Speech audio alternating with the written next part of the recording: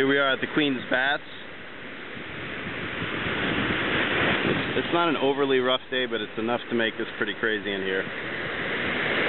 But um, there's a deep hole right here, really deep. On a calm day, you can, you know, jump into that and stuff. Over here, on a calm day, that's a beautiful area to snorkel. But no way today. And then the area most people go is right in here.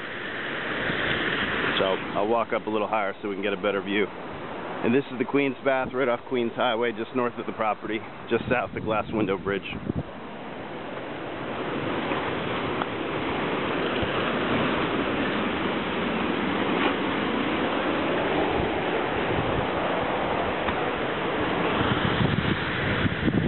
That's that's the area most people hang out in. You could also sit in some of these baths up here. If, if as long as they get flushed out, they're usually pretty clear. And then over there is, is really cool. There's some up in there. I'll film that in a minute. But the water is crystal clear in this one.